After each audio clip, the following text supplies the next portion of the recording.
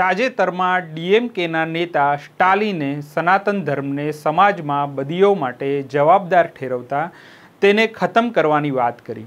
સ્ટાલિને સનાતન ધર્મને સમાજના વિભાજનનું મૂળ ગણાવ્યો અને એ સાથે ધર્મના નામે રાજકારણ શરૂ થયું. સનાતન ધર્મને લઈને આ અગાઉ પણ વિવાદો થયા છે.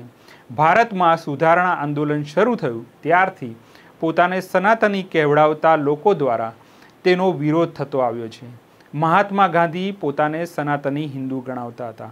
અને છતાં તેમણે હિન્દુ ધર્મની આભડછેટ જેવી બદીઓને સખત વિરોધ કર્યો. આજે જાણીએ સનાતન ધર્મ ખરેખર શું છે અને ગાંધીજી તેના વિશે શું માનતા હતા?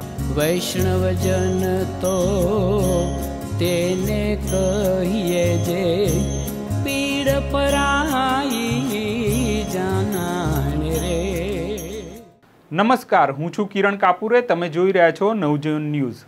સનાતન હિન્દુ ધર્મનો અર્થ શું થાય એ સવાલ ગાંધીજીને અનેક વખત પૂછવામાં આવતો. ગાંધીજીને આ વિશે ઓગણીસો એકવીસમાં નવજીવન સામાયિકમાં એક લેખમાં વિગતે લખ્યું છે. ગાંધીજી લખે છે કે, દુર્ભાગ્યપૂર્ણ છે કે આજકાલ હિન્દુ ધર્મ માત્ર ખાવા અને અભડાવવાની ચર્ચામાં જ આવી ચૂક્યો છે. ગાંધીજી અહીં પ્રસંગ પણ ટાંકે છે. એકવાર તેઓ એક ધર્મશીલ હિન્દુ ભાઈની સામે મુસલમાનના ઘરમાં ડબલ રોટી જમ્યા. એ જોઈને પેલા ભાઈ તો કંપી ગયા. એ પછી જ્યારે ગાંધીજીએ મુસલમાનના હાથે ડબલ રોટી લીધી, ત્યારે તો પેલા હિન્દુ ભાઈને અસહ્ય વ્યથા થઈ. ગાંધીજી આ પ્રસંગને ઉલ્લેખ પછી કહે છે કે, મને ભય છે કે શું ખાવું અને કોની જોડે ખાવું? એની ઝીણામાં ઝીણી વિધિ નિષેધ નક્કી કરવા પાછળ જ જો હિન્દુ ધર્મ પોતાનું બધું બળ રોકશે, તો તે થોડા જ વખતમાં ખરી વસ્તુને ખોઈ બેસશે.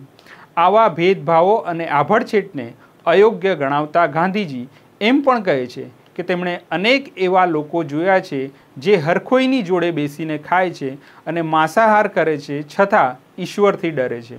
જ્યારે એવાય લોકો છે જેઓ માંસાહાર અને બીજી અનેક વસ્તુઓથી ચુસ્તતાપૂર્વક દૂર રહે છે, છતાં ઈશ્વરનું અપમાન કરે છે.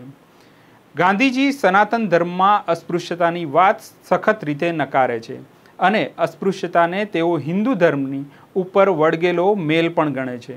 ગાંધીજી અસ્પૃશ્યતા ઉપરાંત દેવદાસી અને મુરલીઓની પ્રથા દેવધર્મના નામે થતા વ્યાભિચારો, બકરા પશુની બલી ચડાવવી જેવી બાબતોને અધર્મ ગણાવે છે અને તેની વિરુદ્ધ લખતા અચકાતા પણ નથી.